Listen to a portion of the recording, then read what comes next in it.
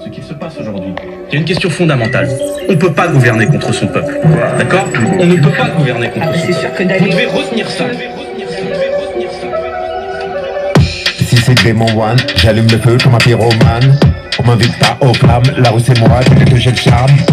Ah, voilà, voilà, voilà, on a fait une petit, un petit générique avec Demon One euh, et toute la clique là. Euh, super titre. hein. Que des voyous en pas. Dans le capmatique, je compte le bénéfice du bon char. Corrompu les chefs d'État, de Matignon à Bogota. Le juge nous met hors d'état, les lumières n'enfants sont tas.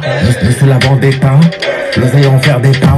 Bon, voilà, voilà, voilà. Ce titre-là, il s'appelle Censurez-moi de Demon One et les Intouchables. En fait, bon, c'est un, un- un super titre. hein.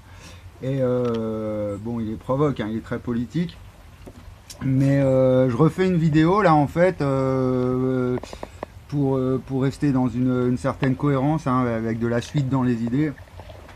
Pour reprendre le titre de l'émission de, France Culture hein, en sociologie il faudrait, il faut avoir un peu de la suite dans les idées parce que parce que parce qu'en fait à un moment donc dans ma dernière vidéo sur Michel Onfray et Juan Branco hein, je je je je je parle je parle de, de ma relation en fait avec Branco euh, et des messages que je lui ai envoyés sur euh, sur Facebook. Donc euh, on va y aller, on va aller voir et en fait l'idée c'est de refaire donc une vidéo parce qu'en fait je viens de lui renvoyer je voulais l'envoyer sur son mur en commentaire et tout, et puis en fait je dis non mais ce que tu fais plutôt que d'haranguer un peu, enfin de- de- d'interpeller ses, ses, ses fans quoi, enfin c'est des fans, c'est des gens qui le suivent sur Facebook hein, et de pas euh, non plus euh, essayer de ve- venir atteindre euh, son image, Euh, parce qu'il faut comprendre que voilà, je suis pas quelqu'un d'offensif euh, dans le sens euh, euh, va-t-en-guerre euh, polémiste ou euh, démago justement. hein. J'essaye vraiment de, euh, de, de, rentrer, d'ouvrir, euh, de rentrer en dialogue, hein, de toute façon depuis toutes ces années. Donc euh, rentrer en dialogue avec tout le monde, la communauté scientifique, les politiques et puis tout le monde. Donc euh, l'idée en fait, donc, du coup je lui envoie, je lui ai envoyé la vidéo là, euh, du coup qu'on a fait hier soir. Je l'ai appelé Onfray Branco et la World Company parce qu'il dit souvent euh, et compagnie. Branco aussi, euh, nanana et compagnie dans son. Et moi aussi je le dis souvent. Donc en fait c'est le problème, c'est quoi? C'est la World Company quoi. hein. Euh, donc euh, et du coup bon bah je retombe sur sur tous les tout ce que je lui ai envoyé, les courriers que je lui ai envoyés.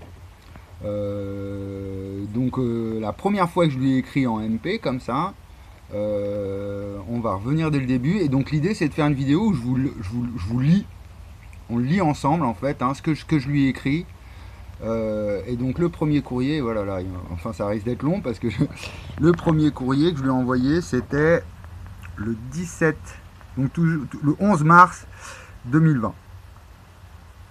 Donc euh, voilà, par un souci de transparence en fait, hein, parce que vu la gravité, euh, la lourdeur de ce que de, ce que je raconte, quoi, hein, refonder les maths, guérir le, le- le euh, c'est hyper relou. Et du coup moi j'ai une obligation en fait d'être vraiment euh, le plus transparent possible et, euh, et- sans animosité. Voilà, le but c'est que vraiment on fasse euh, tomber un peu les tensions euh, qui, règnent actuellement en France, en Occident et dans le monde entier, là où, on, a atteint, des niveaux. Et en fait, au final, donc j'ai retrouvé le mot que j'arrivais pas à trouver hein, pour qualifier un peu le, discours de, des magots de, des uns et des autres. Et euh, donc en fait, le, le terme, c'est vraiment c'est déplorable en fait. hein. Je disais navrant, mais voilà, c'est un peu un synonyme, navrant, déplorable. C'est-à-dire qu'on a atteint un seuil. euh, euh, bon, voilà. Après, on va pas non plus reprendre les propos, genre le degré zéro de l'humanité, au sujet du SIDA. C'était qui C'était bref. Donc sans vouloir de- descendre tout le monde, quoi. Moi, j'essaye simplement de faire mon job de philosophe. Euh, dans le sens où euh, bah, euh, ce que je découvre là, c'est même plus de la philosophie là, au point où on en est là, en fait. hein. Il s'agit d'une découverte dans le physiologique, dans le corps humain, pour toute la pensée. Donc, là, ça dépasse largement.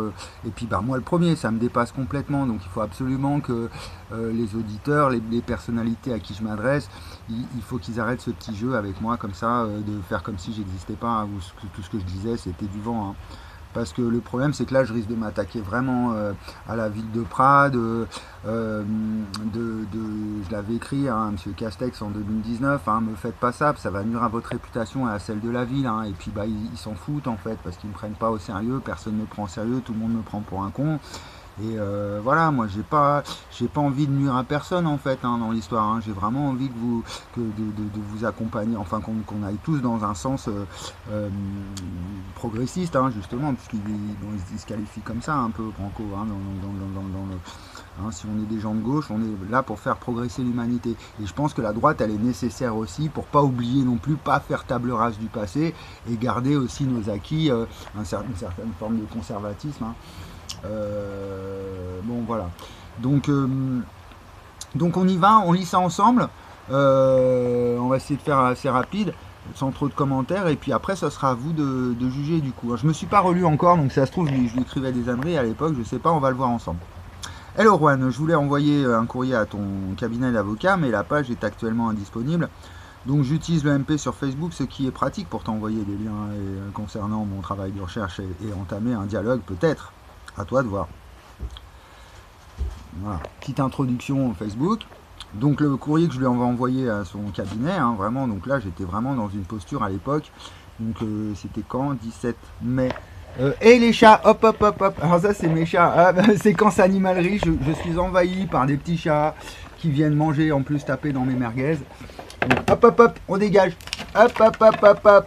On ne touche pas ma bouche. Voilà, donc si vous voulez des petits chats dans les Pyrénées orientales, et eh ben euh, c'est pas ce qui manque. Et puis bon, le problème c'est que j'ai pas les moyens de payer le veto, tout ça pour les stériliser. Ma chatte, j'avais pas, pas de quoi là. Donc c'est vraiment problématique tout ça. Bref, on revient. Euh, revenons à nos, à nos moutons noirs là. Enfin noir, euh, rouge, noir, brun, jaune. bref. Donc euh, on y va. Alors, cher maître, donc ça c'était, oui je disais, c'était en 2020, 11 mars 2020, euh, c'est-à-dire deux mois après. Donc là j'étais à la rue hein, à cette époque. Euh, je, me suis fait expulser juste avant le Covid. donc c'était en plein Covid ça. Hein. C'était en plein Covid. Et j'étais j'étais j'étais j'étais dans un appart, on m'avait prêté un appart et puis les flics venaient donc ils m'ont tout volé à l'époque. À cette époque-là aussi, ils ont arraché les plaques de mon camion, ils l'ont envoyé à la casse alors qu'ils euh, avaient passé du vol, hein, ils n'avaient pas le droit de faire ça. Euh, bon, j'étais vraiment persécuté à l'époque, puis c'était l'époque où voilà, hein, les, flics ils me couraient après, euh, le confinement et tout, ils mettaient des, amendes de 150 euros pour non-port du masque.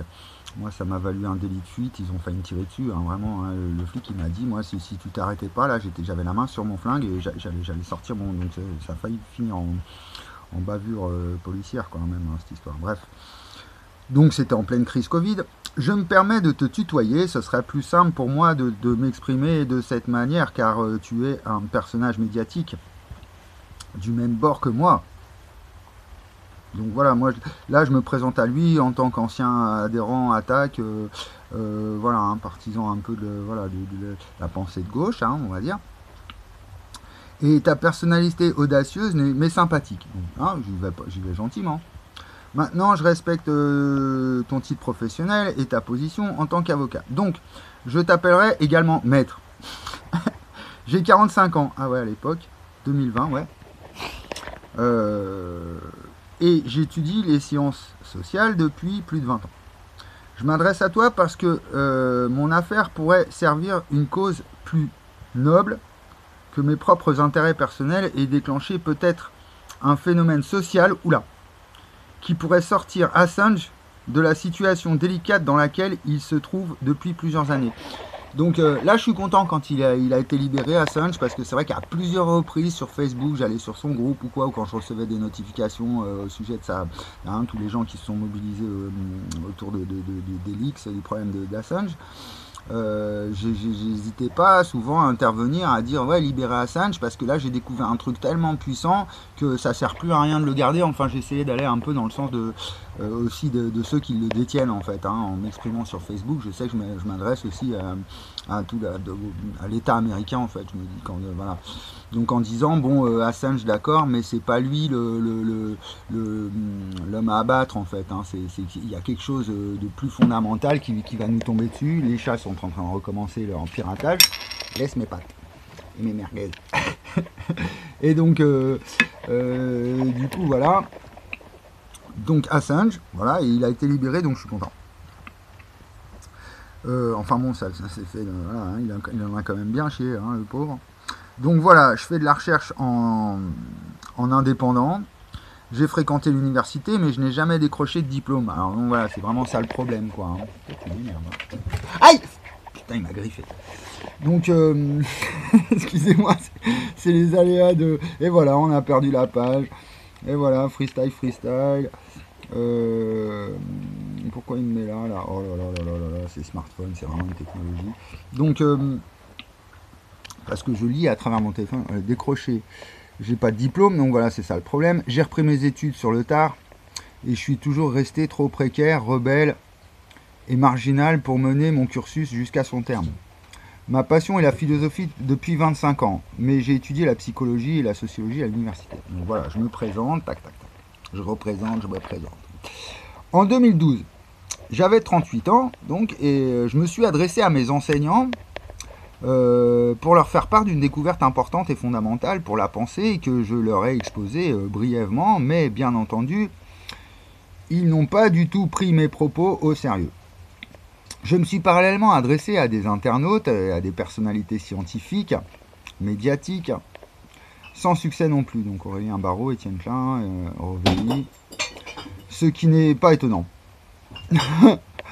Euh, oui, euh, j'étais déjà en lutte depuis quelques années. À l'époque, euh, j'ouvrais des squats et je m'engageais dans les conflits juridiques contre les municipalités pour leur faire part de mon désaccord sur la politique d'urbanisme inféodée au, au néolibéralisme. Hein, qui était en train de détruire peu à peu nos liens et nos acquis sociaux, comme tu le sais. Donc j'étais de plus en plus engagé sur le terrain de l'écologie radicale. Donc j'étais décroissant en fait. Hein. et je leur parlais en fait euh, à l'époque, dans, mes premiers procès de squat, hein, donc c'était en 2010. Et je leur parlais de l'autosuffisance alimentaire et l'autonomie énergétique. Euh, hein, vraiment, dans le sens une coopérative énergétique, mais pas ENERCOP, mais vraiment où, on, se mobilise tous un peu et on produit nous-mêmes notre propre énergie. Donc euh, voilà, c'est bon. et puis bon, quand on voit le Nord Stream et tout ça, la guerre, donc l'écologie radicale, mes convictions devenaient fortes concernant la disposition à prendre pour opérer un virage vers la transition énergétique et écologique. Donc c'était avant Nicolas Hulot, enfin c'était ici à l'époque justement, hein, j'étais informé des travaux de Nicolas Hulot et, de, sa fondation. Hein. L'économie circulaire par exemple, ce concept-là hein, qui vient de la complexité. Euh, ou l'écologie industrielle de Dominique Bourg. Bref, dont la planète et nous avons tous besoin. Euh, donc voilà, puis j'ai fait une très bonne formation en 2007 sur la bioclimatique, les énergies renouvelables, tout ça, donc j'étais vraiment bien calé sur le dossier. Alors, les autorités ont commencé à me cibler directement à partir de 2011. Donc oui, je, parlais du fichier 45, non, c'est le fichier S, hein, je, pense que j'ai dû être fichier S. La guerre contre la ZAD a commencé, rappelle-toi. Euh, déjà avec Hollande, hein, euh, Sarkozy, et puis bon, bah, finalement c'est Macron qui a fini le travail. Hein. Bon, et après, justement, il faut voir un peu le rôle euh, des, socialos, de la gauche, euh, de l'HESS, hein, de l'affaire Julien Coupa, tout ça. Bon. Hein, il faut creuser un petit peu là-dedans aussi. Hein, l'insurrection qui vient en 2007 de, du collectif euh, des, communautés invisibles. ce qui s'est passé à cette époque, et puis cette espèce de procès, ce, ce tapage médiatique autour de l'affaire Julien Coupa. Bref, j'ai alors perdu tous mes livres. 2012. Donc là, c'est vraiment là où il y a eu euh, vraiment, moi pour moi, ça a été une rupture euh, vraiment euh, avec la société française, avec l'État, le, gouvernement, vraiment un autodafé, quoi. Hein. Vraiment, ce qu'ils m'ont fait. Hein. En plus, c'était des livres anciens de philosophie classique. hein, Il n'y avait rien d'anarchiste dans ce que vraiment, bon, j'avais peut-être un petit peu du Proudhon ou quoi, mais vite fait quoi. Ce qui m'a énormément traumatisé, euh, voilà, euh, les agents avaient agi comme des robots programmés par un pervers narcissique que je soupçonnais d'appartenir à un réseau. euh. Quelques années plus tard, en 2015, alors que mes recherches progressent, progressaient gentiment, l'État continuait de me harceler en me chassant d'un squat de manière ahurissante, en m'intimidant et en faisant appel à des barbouzes. hein. Euh, ils ont fini par jeter toutes mes affaires à la benne euh, sous mes yeux. Ouais, ça c'était en 2014 en Savoie, hein, à, Chambéry, la préfecture. hein. C'est alors que j'ai dû faire ma. J'ai dû fuir ma région, ouais, je suis parti en exil du coup dans le 6-6, dans un petit fourgon avec ce que j'avais pu euh, sauver. Je suis arrivé dans les Pyrénées-Orientales euh, pour me rapprocher de ma, famille, quoi, et régler les conflits. Super, comment ça s'est passé. Euh, plutôt que me rassurer sur mon avenir, euh, pas besoin de porter plainte. Ouais, voilà. Bon, après, j'ai des problèmes aussi personnels dans ma famille, hein, où ils me font passer pour un schizophrène depuis que j'ai 20 ans, alors que, en fait, je, suis peut-être un des plus grands esprits de, notre époque, hein, sans vouloir me. Bon, avec ce que je ce que je vous, balance là. C'est pas, voilà, grand, ça, ça me qualifie pas, mais en tout cas, j'ai- un truc lourd à apporter à la connaissance et à la pensée, et, euh, je me fais encore aujourd'hui hein, qualifier de, fou, euh, de, perché, de, toxico, bref. Euh, donc pour un premier contact, mais à l'heure actuelle, je me suis fait à nouveau expulser d'un terrain municipal. Oula, vas-y, zoom, parce que c'est trouble, voilà. Cette fois de manière totalement frauduleuse et illégale. Euh, alors que je ne provoquais pas l'autorité. J'ai par ailleurs été victime de vol, de harcèlement euh, pendant. Donc là, voilà, je m'adresse à lui en tant qu'avocat en fait. hein.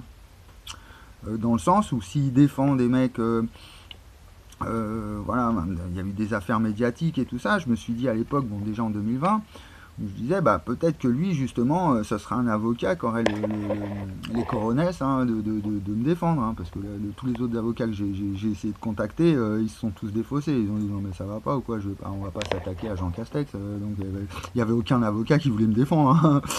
Le maire de ma ville, qui est Sarkozy, voilà.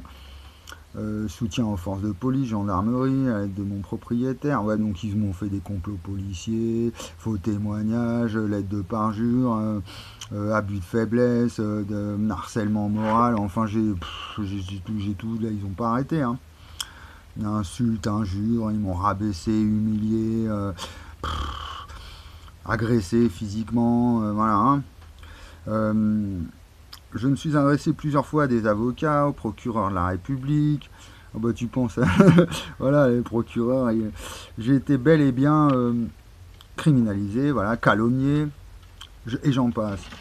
Putain, c'était en 2020, si vous saviez, ça a continué encore des années après. hein. Euh, je t'envoie, et puis c'est- encore là, hein, à fond. Je t'envoie la copie de tous les courriers avec ce mail. Ça sera plus simple si tu veux aller plus loin. Enfin bref, il cherche en ce moment même, clairement, à m'éradiquer. J'ai vraiment besoin d'un avocat en urgence. Euh, donc voilà, c'est pour ça que je, le- lui en veux un peu. Enfin, je leur en veux un peu à tous, hein, parce que hum, voilà, moi je vis dans la misère, hein, vraiment, euh, je suis vraiment euh, complètement ostracisé à cause de leur silence aussi. hein. parce que j'ai obtenu strictement aucune réponse. hein. Donc, et à l'époque, 2020, il n'avait pas encore écrit Abattre l'ennemi. Il avait, euh, il avait sorti Crépuscule, je crois. Bref. Passons plutôt à ce qui pourrait nous intéresser. Toi comme moi, j'ai fait une découverte. toi comme moi, voilà, ça pourrait tous nous intéresser. J'ai fait une découverte. Je chasse le chat. Je chasse le chat. J'ai fait une découverte donc. Euh, avocat en urgence. Euh, dans le cadre de ces recherches qui est loin d'être négligeable. J'ai prévenu le maire de la ville qui m'auprès, voilà, m'expulser. Je portais en moi la révélation pour les sciences, une révélation pour les sciences qui allait avoir un retentissement international. Ok, j'espère t'avoir accroché à ce stade du courrier. Continuons. Depuis 2012, je clame sur les réseaux sociaux. Depuis 2012, je clame sur les réseaux sociaux que le temps est la fonction de l'espace. Donc bam Donc cette petite phrase toute conne hein, en fait, hein, le temps est la fonction de l'espace, la cause du on en arrive là à la cause du mouvement. Euh, euh, voilà, dès 2012, moi je savais que j'avais ouvert une brèche hein, dans la connaissance et dans les fondements de la pensée même. Quelque chose de vraiment super, super, super fondamental. Euh, beaucoup d'autres choses ainsi. À vrai dire, j'ai construit toute une philosophie autour du concept espace-temps qui semble être très efficace pour résoudre beaucoup de problèmes en science et dans la vie en général. Et euh, tu penses bien qu'un discours pareil a du mal à passer dans la société quand tu parles à des collègues de travail ou même à des amis. Ainsi, ma vie a basculé peu à peu dans la marginalité. Bah oui, quand je dis aux, gens, ouais, euh, je fonde les maths, et puis ils me voient un pauvre gars au RSA complètement largué, euh, euh, Julien, va, va, prendre tes cachets, quoi. Hein. Ainsi, ma vie a basculé peu à peu dans la marginalité jusqu'à l'exclusion la plus totale. Bon, même pire, hein, il y avait les flics qui passaient tous les jours, qui me surveillaient, hein, donc bah là ils passent plus maintenant, ils ont les, ils ont les chocottes. D'autant plus que des prédateurs ont profité de cette euh, ouais bon voilà donc j'ai eu plein d'emmerdes hein, du coup et puis bon tout le monde tout le monde s'y est mis hein, du coup hein, tout le monde a voulu m'anéantir du coup à partir du moment où euh, voilà de là-haut ça vient de là-haut. Après les gens ils en profitent en fait euh, pour ça que je parle des fois de la société en termes de secte parce que la but de faiblesse c'est justement pour décrire le, le caractère criminel d'un gourou de secte la but de faiblesse euh, et en fait, des gourous de sec, bah, il y en a plein les rues en fait. Or, pendant l'hiver dernier, alors que je luttais dans ma petite caravane pour éviter l'expulsion, qui a tout de même eu lieu, en plein mois de février, j'ai découvert une nouvelle manière d'opérer les nombres entre eux. En fait, c'était ouais, en août 2019 et vraiment, euh, cette arithmétique, elle a émergé en décembre 2019, janvier 2020, vraiment au moment du Covid. Hein. Euh, à l'intérieur de mon travail de recherche, qui était centré sur les sciences physiques, les mathématiques depuis plusieurs années. Donc il fallait trouver un moyen de valider mes hypothèses et les confronter avec l'expérience, oui, parce qu'il faut savoir que j'ai passé tout plein d'années, donc 2012, 2013, 2014, 2015, 2016, où j'allais sur Facebook, vraiment, et je faisais des débats, j'allais dans les groupes, j'essayais d'interpeller les gars, d'approfondir la question, vraiment, hein, j'ai découvert un truc, l'espace-temps, le problème de l'écologie, le problème de l'organisation sociale, tout ça. Hein, j'essaie vraiment de mettre mes compétences en avant avec mes découvertes pour essayer d'engager le, débat. Et puis à chaque fois, ça échouait, ça, ça, menait à un cul-de-sac, j'avais pas de résonance. Donc euh, voilà. J'ai utilisé l'arithmétique comme terrain d'expérimentation car je n'avais que cela de concret. Bah ouais, j'étais tellement dans la misère en fait pour essayer de prouver de manière dure et euh, authentique, efficace euh, de, ma découverte. Euh, finalement, j'avais tellement peu de moyens, pas de laboratoire vraiment, pas de, les compétences non plus. Hein, je suis pas un vrai scientifique en tant que tel. Donc du coup, je suis allé dans la théorie des nombres en fait. Hein, voilà, hein, juste dans nos têtes, comment on articule 1 plus 2 plus 3, voilà. Simplement fidèle à mon axe de recherche, voilà, donc c'est une axiomatique que j'ai construit patiemment pendant ces 8 années. Mais ce travail va encore beaucoup plus loin, et à, l'époque, je n'avais pas encore découvert la, fonction physiologique. Hein. Et j'y croyais déjà beaucoup, hein. mais j'avais pas découvert la fonction qui régénère le corps. Hein. Euh, donc euh, ce travail va encore beaucoup plus loin. Il est même question de refonder le droit. Donc par contre, j'avais compris que c'était tellement fondamental que... Donc je parle de refonder le droit. Je, je m'adresse à un avocat qui fait de la politique, qui passe dans les médias et tout ça. Je pensais avoir fait une découverte tellement fondamentale en 2012, un droit à l'espace et au temps, car voilà d'où est partie ma recherche. J'ai commencé par déclarer le capitalisme est autant ce que l'espace. ça va devenir vraiment un truc. Enfin, voilà, ça me paraît aujourd'hui, ça me paraît tellement. Euh, ce fut un choc dans les consciences autour, euh, surtout parce que j'avais réussi à construire un ensemble de phrases interprétatives sous cette même forme concernant une très grande quantité de concepts. Bah oui, la, nature, la culture, hein, j'ai fait ça, et l'esprit, la matière. Donc euh, là, on est, là, on est dans la connaissance, euh, l'ensemble, l'intégralité de la connaissance. Pertinemment que j'avais ouvert une, une brèche hein, donc, euh, dans la connaissance, voilà.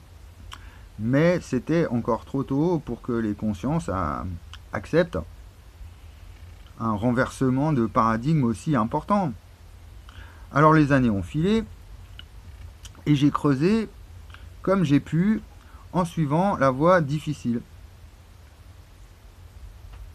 La plus dure, mais aussi la plus forte qui soit. Car, comme tu le sais, cette discipline est prédominante sur les autres dans le classement et la formation des étudiants.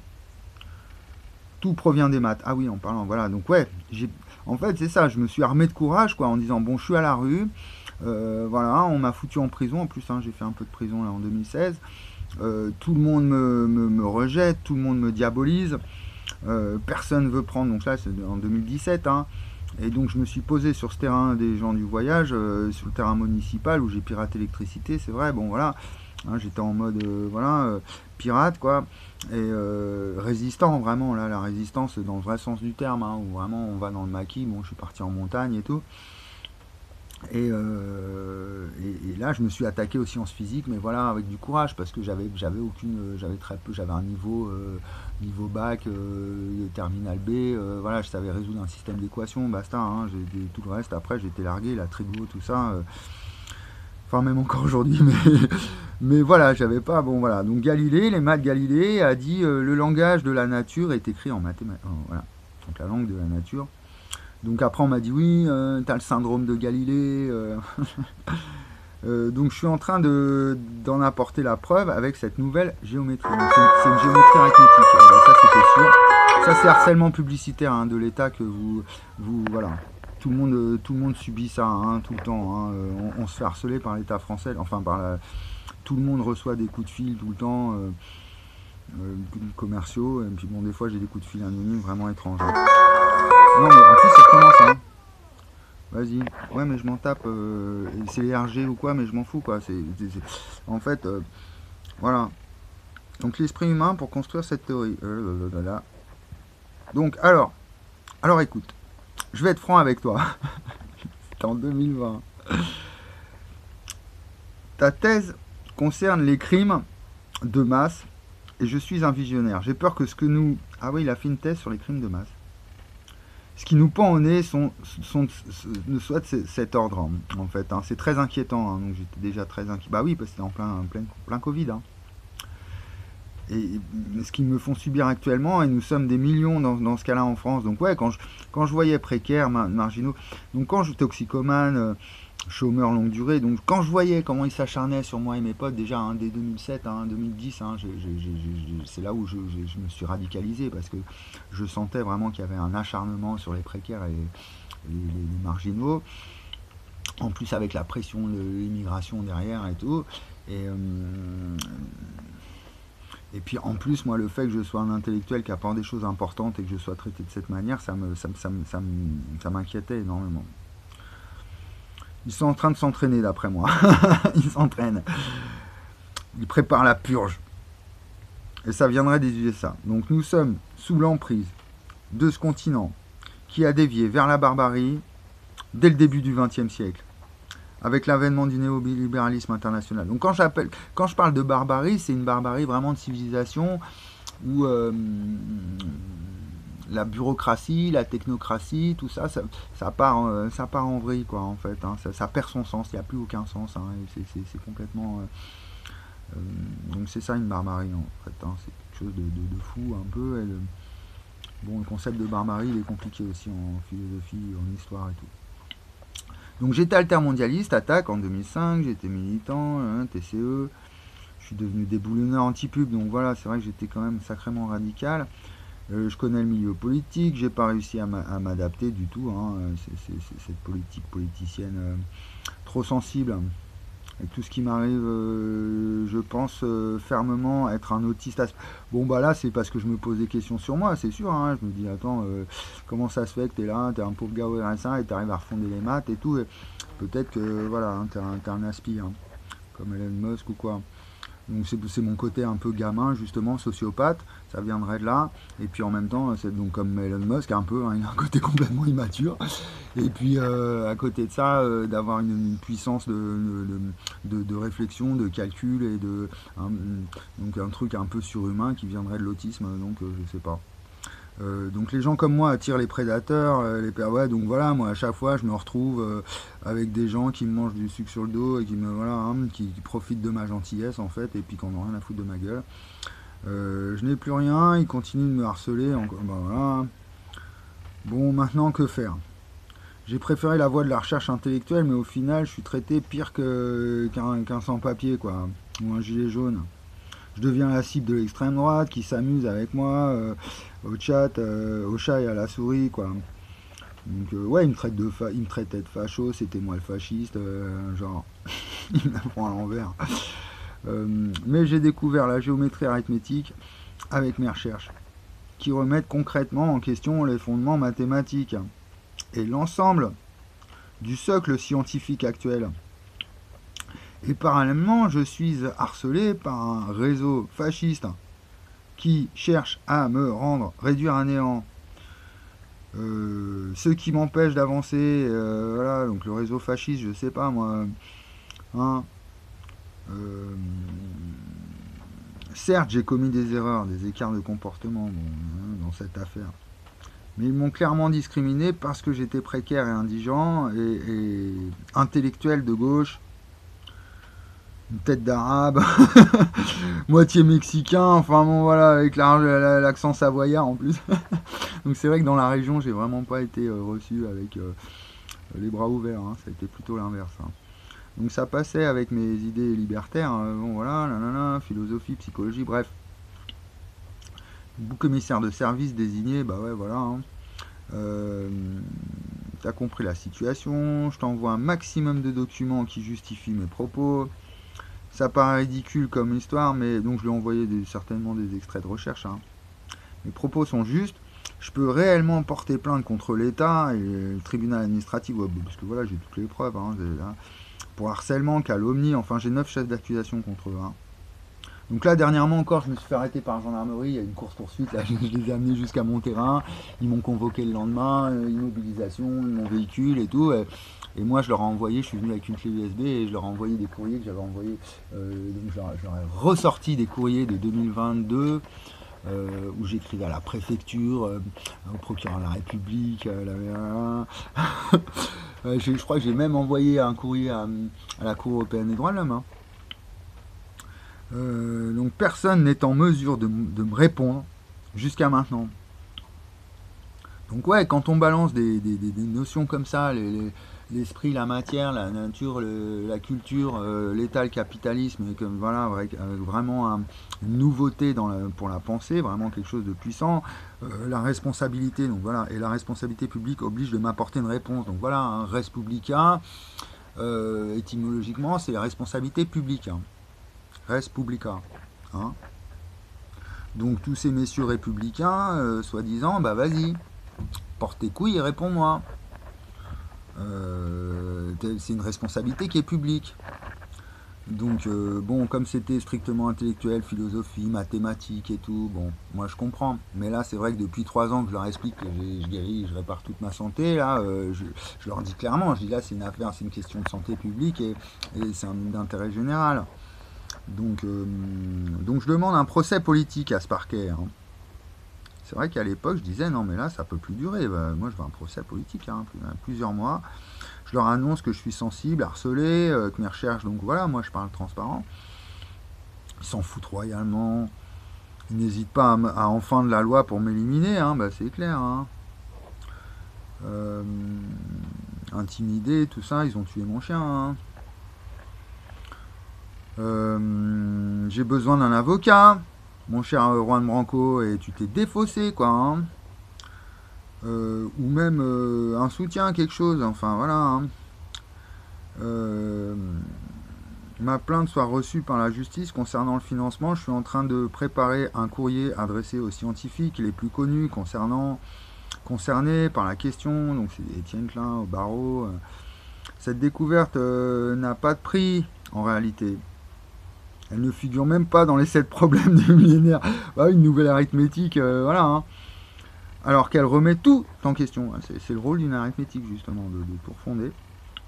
Ce qui reste à vérifier, mais j'en doute de moins en moins. En moins, non par rapport au rejet que je rencontre, qui peut s'expliquer, mais par mon attitude trop défensive. Mais le peu d'arguments qu'on m'apporte euh, pour contrer ma, théorie par rapport à la, à la masse de notions nouvelles que j'apporte quoi hein, sur le terrain intellectuel. Donc voilà, le labo euh, maintenant il est quasiment euh, il est éteint quoi. Tout le monde m'a lâché quoi. Autant à l'époque en 2020 encore, il y avait des interventions, ça me stimulait, il y avait des gens qui me, talonnaient un peu, qui essayaient de le. Mais autant aujourd'hui c'est le, le, silence radio quoi. Hein. Il n'y a rien, rien, rien, rien. Il y a encore des petites touches un peu là, deux, trois, là, un docteur et science qui vient un peu me, hein, me gratter les pieds là, mais euh, mais il n'y a plus personne. Hein, donc là, c'est là où moi je monte dans les tours, hein, des fois. Hein. je vous traite tous de lâches, en fait. je pense que j'ai raison. Donc j'ai besoin d'avocat pour faire reconnaître mon travail de recherche et me garantir une, une protection juridique en cas de plagiat entamer une enquête juridique et un procès contre ceux qui m'ont diffamé euh, toutes ces années, là, y compris dans ma propre famille, hein, parce que j'ai le démon. Hein. Euh, retrouver ma dignité, me faire euh, dédommager suite à... Voilà. Et donc un mois plus tard, j'ouvrais un squat. Hein. je suis reparti dans une autre guerre de plus belle, où j'ai encore... voilà, et là j'ai pris 4 mois de prison ferme entre-temps, encore que je dois réaliser là, je dois, je dois y aller, hein. je devrais y être là en prison. Hein. Enfin, pouvoir écrire ma thèse et continuer ma recherche sans être inquiété. Donc ça, dès 2012, hein, je m'adressais aussi euh, aux, aux, gens, euh, enfin à mes interlocuteurs en disant mais il faut que je puisse travailler dans de bonnes conditions, quoi, que je ne sois pas isolé comme ça, parce que c'est trop important. Bon voilà, je me répète, me réduire à néant, nanana, ce qui m'arrive à chaque fois que j'entre... Donc je lui mets mon, mon nom, mon prénom, mon téléphone, hein, je suis transparent. Après je lui mets un lien. Ce groupe est un laboratoire, donc sur mon, groupe labo. Euh, un laboratoire aussi de recherche sur les fondements du droit, puisque je parle de refonder le droit, que j'ai créé sur Facebook.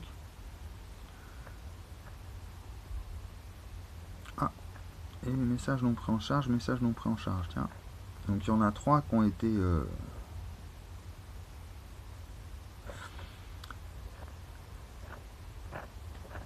voilà. Quelques docs sur ma découverte, ok. Donc je ai envoyé des documents sur la découverte. Donc là je lui ai envoyé des documents. C'était le début ça, hein, mes recherches. Ok, je viens d'envoyer un message à France Culture. Ah, donc là, on va avoir droit, on continue 37 minutes. Allez, euh, je lui ai envoyé, donc là, c'était en quoi? Peu de temps après? Non, le même jour. Euh, donc à l'époque, je m'étais adressé à France Culture. Donc. Euh, peut-être à la médiatrice. Non, France, non, parce que je me suis adressé à la médiatrice de France, Radio France. Mais je m'adressais aussi à Adèle Van Rett qui, qui, animait les nouveaux chemins de la connaissance à l'époque, et maintenant elle est directrice des programmes. Hein, la conscience est autant ce que l'espace est à quelque chose. J'ai fait la découverte la plus importante de l'histoire de la philosophie. Et j'ai pu réunifier son histoire avec ce concept. Et je me souviens, euh, Adèle Van Rett, euh, une fois que je lui envoyé ça, elle, faisait une émission où elle, se foutait de ma gueule à l'antenne. Hein, la chose et tout, elle s'est foutue de ma gueule, hein, ouvertement. Hein. Elle m'a pris pour un con. Hein. La question n'est pas le moteur du temps, donc avec Bergson, donc ça c'est le conflit qui m'a opposé à Etienne Klein, vraiment. Euh, euh, bon voilà, après c'est tout mon Etienne Klein ressent un profond... Bah oui, il m'a dit euh, je vous conseille d'aller voir un bon psychiatre. Puis après il a vite effacé le message pour pas avoir d'ennui. Et il m'a plus jamais adressé la parole après. Hein. Husserl, bon bah ça j'en parle dans mes vidéos. Hein temporaliser l'espace. Donc voilà, je me suis adressé à France Culture. Je vous fais pas de tout ça parce que je me répète, après ça me saoule Kant, séparer la matière de l'expérience. Donc en fait, je lui envoie ça pour lui montrer Einstein, pour lui montrer que je rigole pas en fait. Hein, je, je, l'espace-temps, que, que, mon sujet, je le tiens, je le tiens bien quoi. Hein. pour être euh, pour, se permettre d'écrire à France Culture euh, et balancer comme ça de but en blanc euh, oui j'ai fait une découverte qui est une des plus importantes de tous les temps alors quand je dis ça j'ai fait une découverte c'est un jeu de mots en fait je dis que j'ai fait la découverte la plus importante de tous les temps parce que j'ai compris quelque chose dans le temps au sujet du temps, sur la nature du temps, que, que bah, ni Platon, ni Heidegger, voilà, de Platon à Heidegger, il n'y a aucun euh, philosophe, donc même Derrida du coup. Hein. Pour revenir à la vidéo précédente, hein, même Derrida, mais il n'était pas loin justement. Derrida, Deleuze, hein, Deleuze c'est différence et répétition, sa thèse. Hein.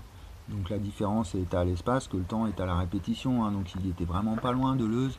Derrida non plus, Foucault non plus. Euh, ils, étaient, voilà, ils étaient tous euh, vraiment à deux doigts de, trouver la, nature de la structure à l'époque, dans les années 70 mais c'était trop tôt, on n'était pas prêts. Moi, je pense que de deux, eux, eux, ils étaient prêts, les intellectuels, mais les auditeurs, les peuples, ils n'étaient pas prêts à, entendre ça.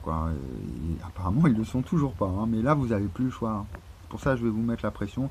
11 mars 2020, lettre à Jean-Pierre Petit, tiens. Et le percepteur. Ah oui, bah tiens, le percepteur. Messieurs, ouais, parce qu'il avait dû l'interviewer, quoi. J'ai suivi cette interview, voilà, c'est ça, avec grande attention. Ah, donc j'avais déjà écrit à Jean-Pierre Petit en passant par le percepteur à l'époque, hein. Donc, euh, et après, je me suis adressé directement à Jean-Pierre Petit, hein. Et derrière, il a fait quoi Donc, euh, j'en ai parlé dans la vidéo.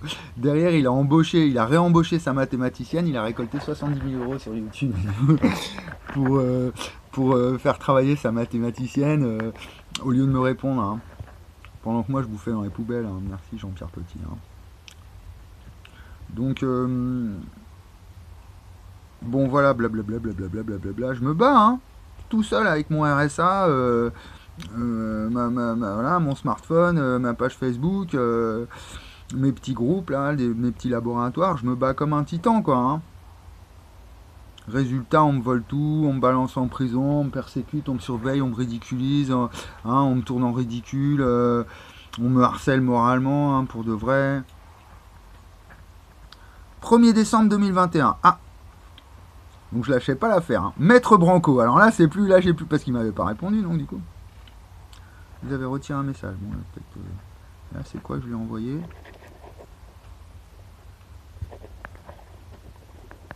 Prad. Monsieur Julien Estrada, nanana. Mise en demeure. De libérer les lieux. Ah, je me faisais expulser. Bon, j'ai dû lui envoyer un courrier de l'huissier ou quoi. Mise en demeure de quitter les lieux. Ouais, j'aime fait délirer cette expression, mise en demeure. Pour expulser quelqu'un, on va, on va utiliser l'expression mise en demeure, lol. Je vous écris publiquement. Ah, tiens, ouais, j'avais dit. Car la dernière fois que je vous ai contacté, c'était il y a deux ans. Ouais, il y a un an en fait. Euh, à cette époque, c'était juste avant le Covid. J'avais rédigé un courrier au maire de ma ville, voilà, où j'ai fait la démonstration mathématique, blablabla, blablabla, paradigme pour un nouveau paradigme pour les sciences je reçois encore des menaces d'expulsion, blablabla. Ah ouais, donc là j'avais. Ah bah là j'étais dans mon squat. Mon nouveau squat là. La grosse maison là donc où j'ai refait le toit, ils ont gardé la charpente, donc du coup j'ai fait une cabane hein, juste en face. Je suis resté en fait. Ils m'ont expulsé, je suis resté, j'ai pas bougé, je suis resté dans ma caravane, dans le champ. Et j'ai construit cette cabane. Euh. En 2012, j'ai donc fait une découverte, donc je me répète là, c'est là où ça devient agaçant en fait. Hein. Je lui réexplique, euh, nanana, Juan Branco, euh, d'accord, tu veux abattre l'ennemi, tu veux, tu dénonces la Macronie, tu dénonces tout le système, hein, donc je lui mets l'adresse de mon labo, mon numéro de téléphone, respectueusement, hein, s'impose à nous pour le 21e siècle, les défis de la complexité, blablabla, je sais pas, voilà. Donc, euh, et donc je lui réécris, après, je devais peut-être aussi faire des, petites, euh, des petits commentaires par-ci par-là, mais vite fait, hein, de façon timide un peu sur sous ces postes, hein, sans vouloir non plus trop le, euh, le tracher, quoi, pas non plus atteindre sa, sa notoriété. 1er euh, décembre 2021, ouais. Ouais, c'est ça. Et après, j'ai lancé les Freestyle TV, du coup. Hein. C'est l'époque où j'ai lancé Freestyle TV, c'est le 1er décembre 2021. Donc voilà, voilà, voilà. Aujourd'hui, on est euh, en 2024, donc il y a de l'eau qui a coulé sous les ponts. Euh, cette émission, en fait, que j'ai commentée, j'ai cru qu'elle était d'actualité, mais pas du tout. Elle a 3 ans, en fait. Hein. Euh, donc Branco, bah, on le voit encore hein, tourner, là, dernièrement. Je l'ai encore vu chez des interviews, des longues interviews de lui. Donc, euh, donc est-ce que la situation, elle a évolué dans le monde euh, Dans quel sens elle évolue Ma découverte, ah donc, ma page, mes recherches. Donc, je vais envoyer ma page, mes recherches. Attention, là, ici, il y a, des, tout quasiment. Hein, tout ce que j'ai découvert, c'est super important. Donc, euh, donc en fait, qu'est-ce qu'on va faire? Qu'est-ce qu'on fait? Un scandale, c'est vrai que le scandale politique, euh, dans l'histoire de la démocratie, le scandale, il est euh, fondamental. C'est, apparemment, c'est par le scandale, avec le scandale, que les démocraties, elles se sont euh, construites et déconstruites. Il y, a un, rôle très important avec cette, notion de scandale. Mais est-ce que c'est ça vraiment l'intérêt de faire un scandale? Est-ce qu'on va c'est ça, c'est qu'en fait, tant que j'étais dans, un, dans une lutte intellectuelle, tout ça, effectivement, j'étais limite un peu belliqueux, hein, vraiment, enfin un peu euh, agressif, enfin agressif, combatif. Hein. Mais cette guérison-là, euh, déjà, ça m'a fait, moi, pour moi, dans ma psyché, dans mon corps, dans mon esprit, ça m'a transformé, hein, vraiment puisque j'ai transformé tout mon corps, hein. je, me suis, retrouvé dans une santé que j'avais jamais connue en fait, puisque j'ai réparé des problèmes de santé qui, étaient apparus suite à un accident euh, dès l'âge de 3 ans, euh, j'avais la colonne vertébrale tordue depuis, depuis mon enfance. Hein. Donc euh, le fait de réparer comme ça sa santé, vous pouvez pas imaginer ce que ça fait sur, l'esprit en fait, hein. comment ça, ça soigne le corps mais aussi l'esprit en fait. Et du coup, bon, par rapport à mes, propos de 2012, hein, le, corps est, à l'espace, enfin la matière, le corps matière est à l'espace, que le temps est à l'esprit. Euh, voilà, c'est peut-être pour ça que moi, en fait, je me dis, on ne trouvera pas de solution euh, humanitaire euh, tant qu'on aura nos corps malades. Enfin, malades, après, on ne peut rien faire contre la maladie, mais je veux dire, on ne comprend pas la source, le secret de la santé. Donc du coup, on a plein de défaillances euh, au, niveau médical. Et du coup, bah, notre esprit, euh, du coup, lui aussi, il est, il est défaillant. Du coup, hein. c'est-à-dire que comme on ne sait pas euh, comment, on n'a pas compris cette petite fonction qui nous permet d'avoir un corps sain, en bonne santé. Du coup, bah, un, corps sain, l'esprit sain dans un corps sain. Hein. Donc forcément, nos esprits, ils sont, ils sont pervertis, quoi. Hein. Euh, bon, après, c'est pas forcément lié au corps. Hein. L'esprit se pervertit euh, très rapidement, euh, même quand on est très jeune et on est en bonne santé, et puis on peut vite se retrouver dans des, dynamiques complètement où bon, l'esprit part en vrille. Mais il faut voir ça, le corps, de façon plus générale, comme il utilise Branco dans, cette, interview, là, ce débat, où souvent il fait appel au corps au niveau symbolique, le corps de l'État. Euh, donc voilà, donc non, euh, aujourd'hui, je pense que chercher à faire une révolution, renverser le gouvernement, faire tomber la Macronie, euh, finalement, c'est ce qu'ils cherchent en fait, quelque part. Moi, je suis sûr, le Grand Orient de France, dans leur loge, comme ça, ils, doivent se dire ça, surtout s'ils ont connaissance de mon dossier. Euh, bon, qu'est-ce qu'on va faire avec les Français, là, avec cette nation euh, qui est en, perdition, là, qui est complètement larguée un peu Qu'est-ce qu'on va faire À part une révolution, quelque chose, à part foutre un. Euh, les Français, ils vont, ils vont pas. Sont trop conservateurs, ils sont trop. Bon, c'est souvent la critique que fait quand on entend Attali, hein, souvent c'est ça la critique qu'il fait aux Français, hein, c'est qu'ils sont trop Hein, avec leur, argent, ils, veulent pas dépenser leur argent et puis ils sont, ils sont moutonniers un peu, ils sont pas assez progressistes. Donc, euh, donc du coup, moi, avec un truc pareil, euh, effectivement, ils pensent à peut-être faire une révolution, quoi. Mais moi, en fait, ce que je vous dis, on va finir, hein, parce que Ce que je vous dis, c'est que là, en fait, il s'agirait, c'est tellement important, là, ce que je découvre, c'est tellement fondamental, que là, on peut carrément, il ne s'agit pas d'une révolution nationale ou même dans le... c'est vraiment, c'est une nouvelle civilisation qui s'ouvre à nous. Donc c'est même plus le postmodernisme là. Ah, le soleil revient. Il n'y a plus. C'est même pas le le, le, là on est en train de rentrer dans une nouvelle ère. Donc j'en parle dans mes petites vidéos là précédemment où ce serait donc l'ère de l'ère de la conquête des étoiles en fait qui commence. Si, si, si, on, si on, arrive à trouver donc ce fondement du tout, cette théorie du tout, on arrive à la construire ensemble, tous ensemble, les, enfin les scientifiques, de toute façon ils, fonctionnent main dans la main, hein, tous les scientifiques du monde entier. Donc bien sûr, ils vont tous, tous, tous, euh, tous l'apprendre, euh, si c'est ça la philosophie du tout, pour, pour unifier les, sciences, euh, enfin les, sciences physiques, résoudre le problème de la mesure, ça va traverser les frontières. Donc on, va mettre fin à cette guerre mondiale. Hein. Hein? Donc moi, c'est ça en fait que j'aimerais qu'on retrouve en France c'est ce rayonnement de la France, justement, qui, était, une nation euh, universaliste. Hein. il, en reparle, hein. c'est ce côté universel de la France. Donc, euh, en même temps, voilà, Branco espagnol, moi je m'appelle Estrada, bon, du côté de ma mère, ils sont normands quand même, mais j'ai du français un peu en moi, mais, on s'en fout en fait euh, de savoir si je suis vraiment français ou quoi. L'essentiel, c'est de se dire, c'est un gars qui a, fait l'école républicaine en France. Euh, moi, c'est l'école républicaine qui m'a mis Bourdieu dans la, tête euh, dès la seconde, qui m'a mis Descartes dans la tête euh, en terminale dès l'âge de 18 ans. Voilà, on m'a enseigné le doute cartésien en 93. Donc six mois après, dix ans plus tard, j'étais, je bloquais sur la méthode de Morin, c'est parce que je lisais déjà Descartes depuis des années. Et, après, j'ai étudié l'œuvre de Morin pendant, pendant 10 ans. Parce que voilà, il avait aussi, lui, il avait un rayonnement donc, international en Amérique du Sud. Il est très écouté, Morin, il est très reconnu. Il y a des, universités qui portent son nom.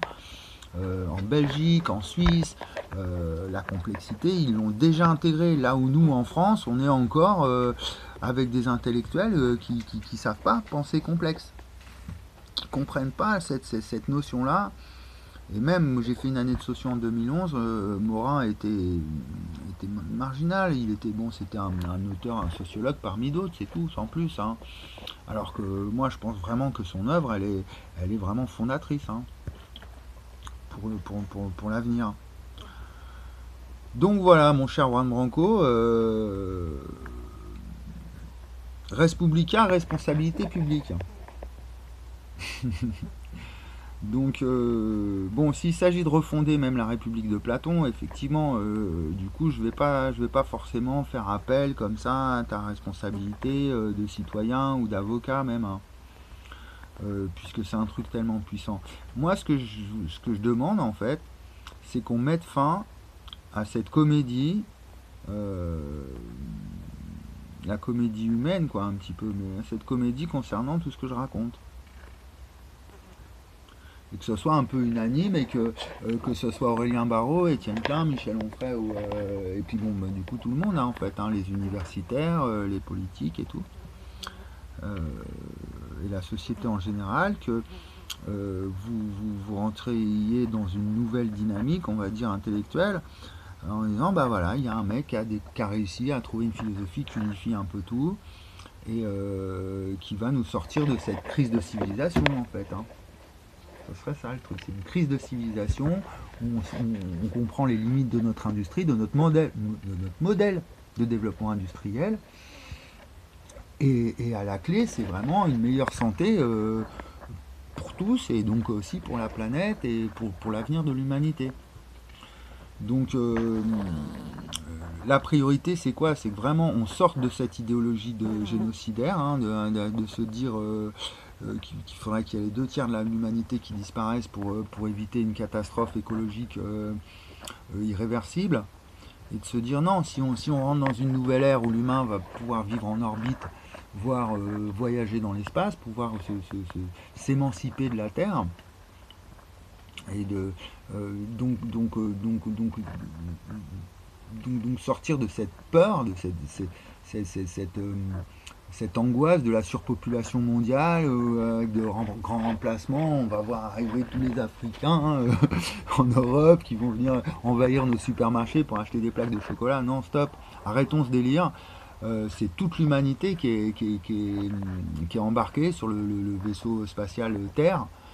Et, retrouver notre humanité, là où le communisme, bon bah il aura échoué, hein, le journal l'humanité, il est et qu'en fait, moi ce que je dis, c'est que non, c'est pas un échec du communisme. C'est euh, derrière le communisme, il y avait vraiment un truc euh, fondamental pour la connaissance, une approche de la rationalité, euh, une approche rationnelle du réel en fait, hein, qui, était, vraiment fondée et qui, a permis du coup l'émergence de la Chine. Hein. on a vu ce que ça, ce que ça donne. Hein. c'est puissant quand même ce qu'il y a derrière le communisme et que mais euh, mais il fallait encore aller plus loin en fait. Donc euh, peut-être on va finir là-dessus. Ouais ouais je vais revenir là-dessus euh, parce que là c'est vraiment une affaire d'intellectuel et de, engagé en politique. C'est que pour découvrir cette, cette philosophie de l'espace-temps l'année d'avant je travaillais parce que ma vie en fait mon mon engagement militant euh, modéré, on va dire, parce que l'attaque, c'est vraiment des gens modérés, hein, c'est beaucoup, beaucoup de personnes, euh, de, bon, vraiment, euh, c'est des réformateurs plutôt. Bon, on voit bien, c'est Mélenchon maintenant, mais voilà. Et, enfin, Mélenchon, je l'ai vu s'infiltrer dans l'attaque, et bon, voilà, tout un programme politique de 2005 à l'époque. Mais il y, a quelque chose, en fait, si, on, parle d'un nouvel universalisme, euh, le, communisme, ah oui voilà c'est ça, j'ai commencé par résoudre en 2011 euh, le conflit qui opposait Marx et Bakounine au sujet de l'État. il y a une scission au niveau de l'international, où il y a une internationale communiste et une internationale anarchiste. Et on sait euh, les répercussions que ça a eu sur l'histoire quand même. Donc avant la commune encore. Hein. Parce que là, c'est un conflit, c'était dès, le début du manifeste, en fait. Hein, il y a vraiment deux approches euh, dans la critique euh, du capitalisme. Alors, ils étaient d'accord au niveau du capitalisme, c'était un ennemi commun qu'il fallait abattre, hein, pour reprendre le titre de, de Juan Branco, de abattre l'ennemi. Donc, ils étaient d'accord, c'était l'ennemi, c'était le capitalisme, mais sans pouvoir trop définir ce que c'était quand même. Euh, mais l'État, il y avait une, donc une, divergence entre Marx et Bakou euh, où bah, bon, les anarchistes c'était non, non, l'État c'est l'ennemi pareil, donc il faut, si on veut détruire le capitalisme, il faut détruire l'État. Alors que Marx disait non, l'État il, a aussi, il faut s'en emparer, il faut vraiment euh, prendre possession de l'État, c'est l'aspect totalitaire en fait du, communisme, euh, pour faire disparaître le, le, capitalisme, et là le capitalisme disparaîtra. C'est un peu l'approche chinoise, hein. c'est-à-dire que les Chinois ils ont fait créer un État, un parti unique, hein, un État totalitaire.